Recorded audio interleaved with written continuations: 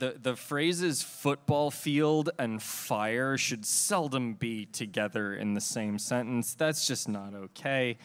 Uh, out of the out of the ashes, so to speak. God, that's a bad pun. Uh, we're going to talk about a different kind of science, something something that might be called pseudoscience to some. I want you all, all, to give a warm welcome to the, for the very first time, Mark Linsey.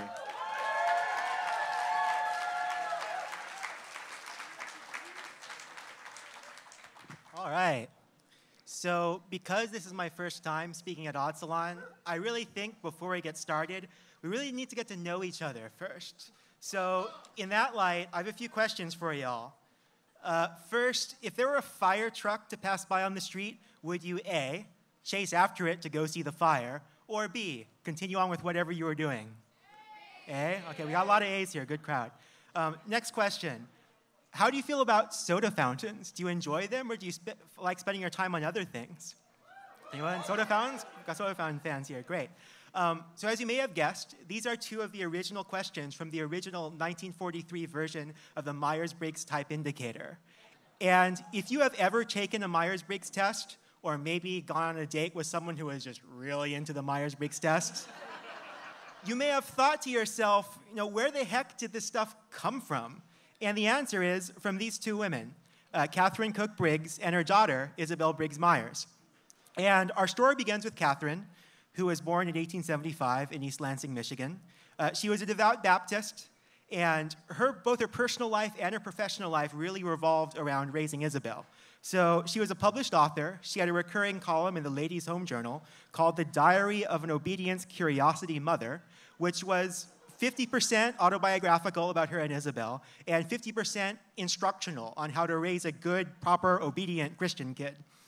Um, so you may have imagined how devastating it was for Katharine when Isabel grew up, moved out, went to college, rebelled, and worst yet, she married a socialist. Ooh. And no joke, this put Katharine into a really deep depression, one that she didn't pull herself out of for, she says, years later, when she encountered the work of this guy, Carl Gustav Jung, the Swiss founder of analytic psychology.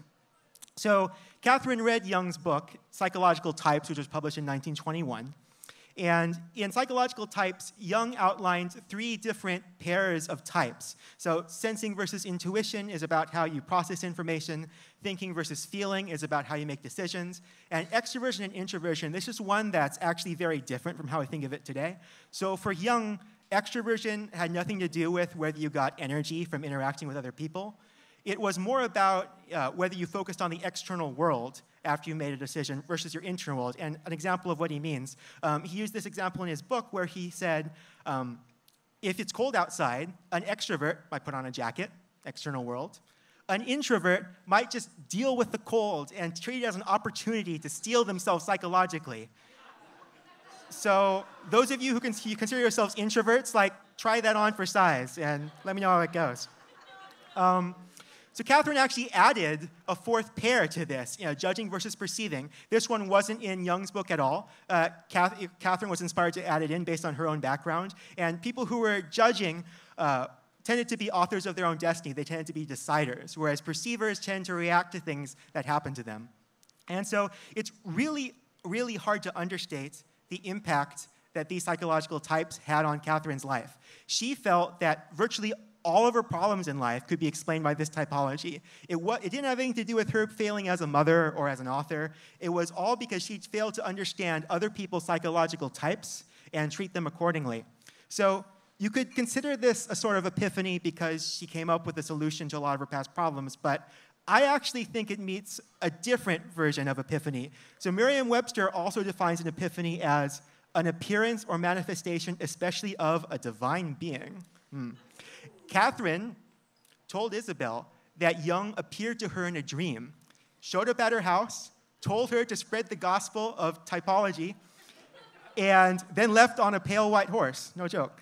Um, Katharine used to refer to Jung as my new God, which is an amazing statement for someone so religious. So what did Katharine you know, do to spread the gospel of typology? Well, she did the most natural thing possible. She wrote poetry. So this one is called Hail Dr. Jung. It goes, signs and symbols reading, Jung gives proof exceeding. He knows all humanity, understands old Adam, not to mention Madam. Wise old owl, so wise is he. Upward, upward, consciousness will come. Upward, upward, from primal scum. Individuation is our destination. Hawk, Heil, Hail, Dr. Jung. Wow. Well, I'm convinced. But it wasn't just poetry that she wrote. Um, Katharine also wrote homoerotic fan fiction. Yes, no joke. So, in a, no, in a novella called The Man from Zurich, Katharine wrote about a very lightly fictionalized version of a character called Dr. Marcus, who had a liaison with a character called Sterling. Um, publishers didn't like this manuscript at all, both because of the homosexual content and also because all the long digressions into Jungian typology they thought was you know, very boring. Um, so she did write a lot of you know, more magazine articles about how to find your own psychological type, but it's important to note that Katharine's approach was to teach Jung's type to you, and then you decided you know, what types were yourself. There was no notion of a multiple choice test which you know, spit out the answer of what type you were. That came later. That was the work of her daughter, Isabel. So Isabel had graduated from college.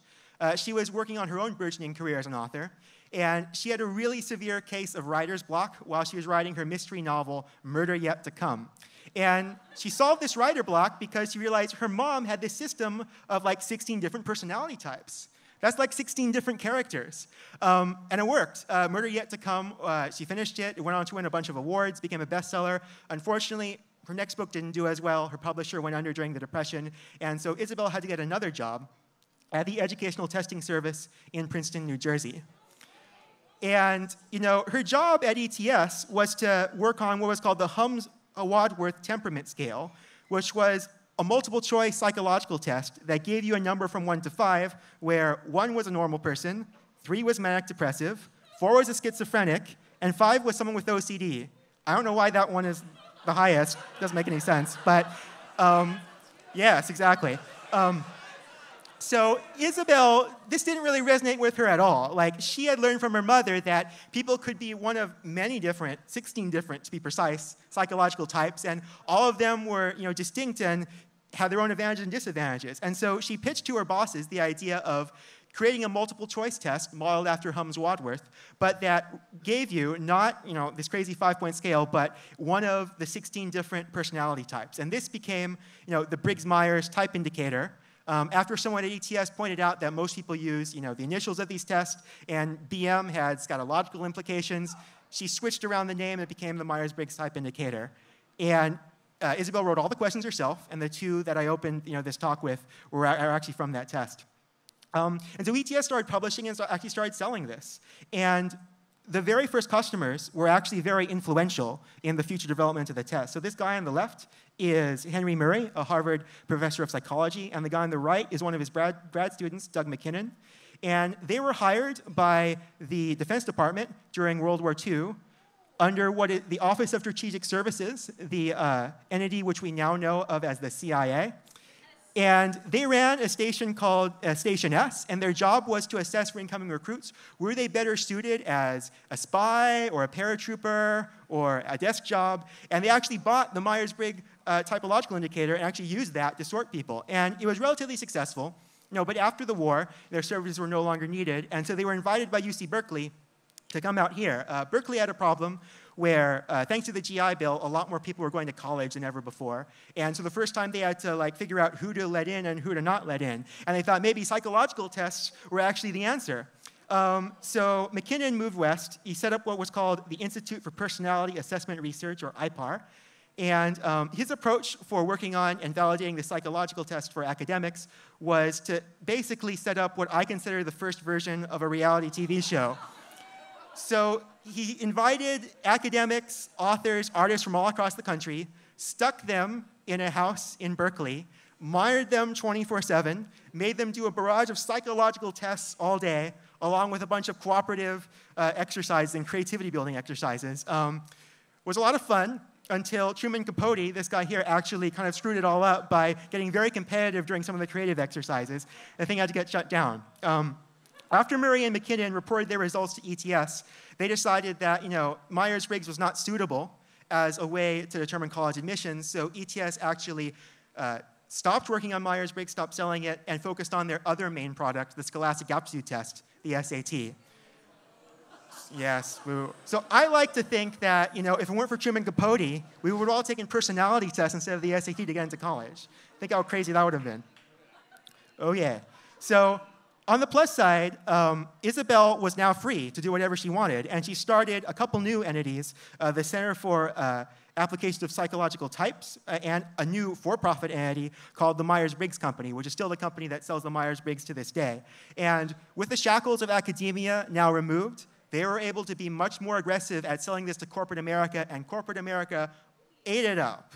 Uh, throughout the 70s and 80s, um, the Myers-Briggs test became extremely popular as a way for HR departments to sort people into managerial roles versus other roles. So perhaps some of you haven't encountered that, yes. So you all were going exactly where I was going.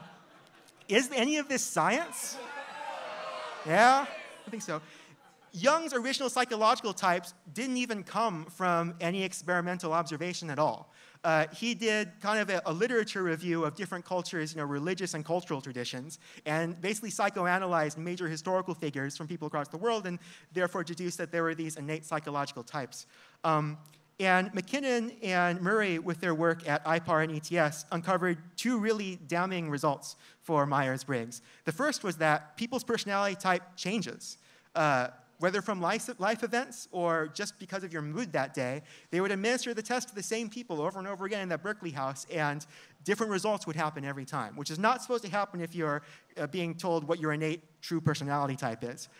The other one, perhaps even more fundamentally damning, is well, take for example extroversion versus introversion. If it's really true that everyone is an extrovert or an introvert, you'd expect roughly a bimodal distribution, where if you ask a bunch of people a bunch of questions about extroversion versus introversion, there'd be a cluster of results over on the introverted side, a cluster on the extroverted side. They found the opposite. There was a standard bell curve right along the middle. What this means is that most people are partly introverted and partly extroverted. It depends on the context. Who knew? Um, so because of that, uh, you know, nonetheless, so I, I, would say this is definitely not science. Um, not science, yes. But Myers-Briggs still became very popular, continues to be popular this day. Millions of people take it every year, whether because their HR department tells them to or this online dating site tells them to, um, either way. Um, and so why does it resonate with people? And I think it goes back to one of Isabel's key insights when she first joined ETS. Uh, prior to Myers-Briggs, all the other psychological tests were all about distinguishing what was normal versus what was abnormal. And despite not being very rigorous, what Katharine and Isabel really gave the world was a vocabulary to explain to people how different personality types could be different, but still ultimately just as valid. And so, with that, I'd like to make a toast. To all of us and each of our individual personalities, they might not be able to fit in 16 different buckets, but they're all special in their own way. Thanks.